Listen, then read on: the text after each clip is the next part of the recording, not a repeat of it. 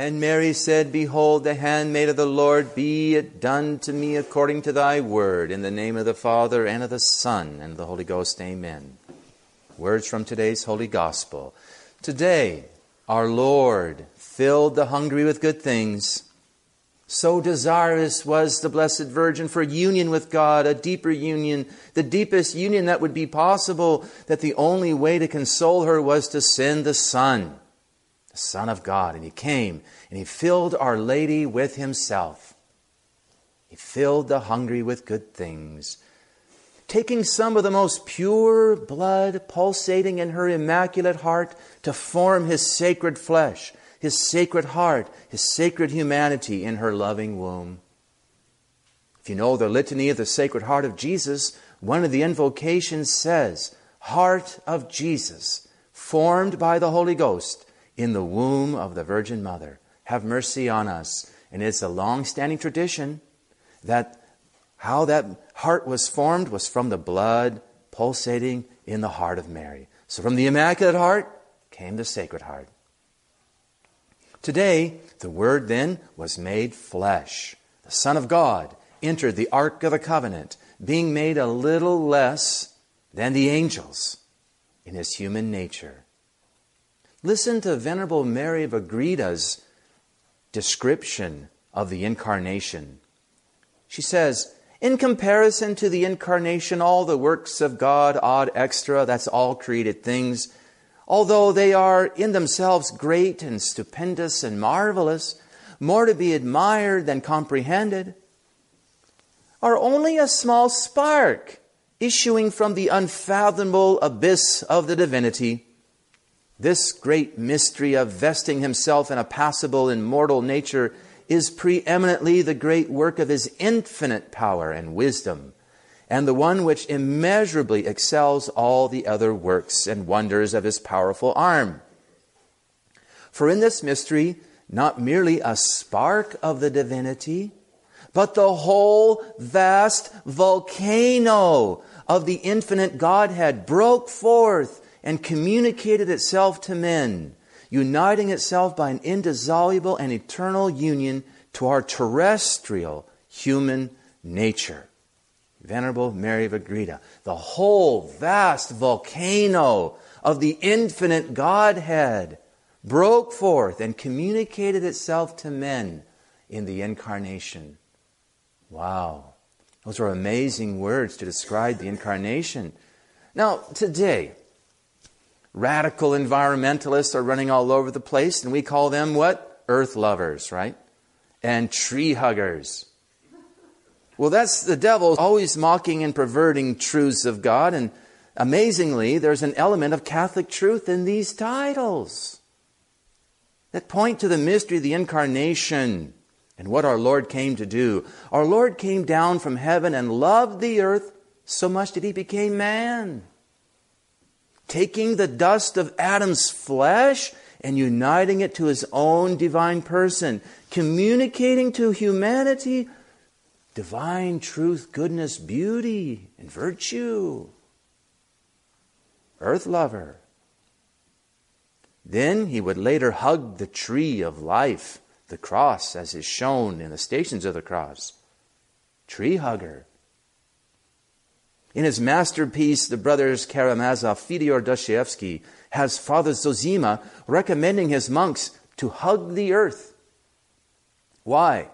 To imitate the divine model. He quoted from St. John's Gospel Unless a grain of wheat fall into the ground and die, it remains alone. No wonder making a genuflection is so important we need to come into contact with the earth to remind ourselves of how the Word of God was made flesh and dwelt among us. The devil is always mocking the truths of God. He's always perverting them. He's, he's, as it were, he's saying, Well, you have your earth lover, Jesus, and I've got mine. You've got your tree hugger, and I've got my tree huggers. On March 25th, 1858, on this feast of the Annunciation in Lourdes, France, St. Bernadette received a vision at the grotto for the first time since completing her 15 days of visits, which ended on March 4th. But in that span of 15 visits to the grotto, first of all, we note that St. Bernadette, she grew stronger and deepened her faith with God. Since the 15 days, visits to the grotto represent the 15 mysteries of the rosary, heaven has given us a little hint as to what the rosary can do for us too. Strengthen our faith strengthen our faith. She was able to stand fast against the atheistic, rationalistic governmental leaders of the town as well as the province, as well as various other trying people and circumstances.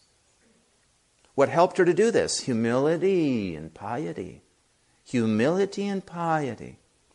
Recall that during the visions, she prayed the rosary kneeling on the ground. She lit candles, bathed in the waters, drank the waters, kissed the ground, hugged the earth, as it were. All humble and pious actions. All contrary to modern enlightened man's way of thinking. Yet they all worked to strengthen her faith. Now it's interesting to note that during this time, the little saint was often both praised and yet attacked. How did she fare in this trial? One report of an expert, he said, she is in excellent health and appears indifferent not only to the admiration, but also to the ridicule of which she is often the object. So, humility and piety can do that for us too. And to think now that St. Bernadette is incorrupt, one of the most incorruptible saints we have, just as she was impervious to corruption in life, so too to death. Hmm. Although many others were going regularly to the grotto, with some wonderful cures being reported, St. Bernadette stayed away. But on the eve of this feast in 1858, she awoke to a voice moving her to return to the grotto on this day, which she did with the permission of her parents. Saints respond to the grace of God, and she did not go on her own initiative. After the 15 days were over, she stayed home, waited until God moved her to go back. Humility is knowing your place and taking your place. And she went to take her place when God pointed it out. So she went back. And when she arrived early in the morning on the Annunciation, Our Lady was already in the grotto, looking at all the pilgrims and nodding to some and smiling at others. As the Son has so loved us, so loved man as to come down from heaven to earth, so did the Mother. Her being present in the grotto when Bernadette arrived is important because it's a sign to us. It's important to us, the sign that she, the woman, is always there welcoming the pilgrims and hearing their pleas. If you've ever been to Lourdes, you'll know what I'm talking about. Many who've been there have felt the mysterious presence at the grotto and the peace it brings. And they're drawn back to that grotto over and over. The Lord continues his incarnation in the Eucharist. He is present in our tabernacles, and Our Lady seems to have her tabernacle on earth at the grotto in Lourdes. Now, after praying the rosary, she was moved to ask three times for her name gaining courage from a special grace to ask the third time. Sometimes we have to keep asking. It was then that Our Lady made a very beautiful gesture with her hands. And she, as it were, like the priest at Mass, and she said, I am the Immaculate Conception, and bowed her head in humility. Smiling wonderfully, she then disappeared. When Bernadette later showed others the motion and saying of Our Lady, Many would just break out into tears at the beauty of it all. Later, on the feast of Our Lady of Mount Carmel, St. Bernadette would see Our Lady at the grotto for the last time. She later said, I've never seen her look so beautiful. Remember Blessed Jacinta when she saw Our Lady the first time?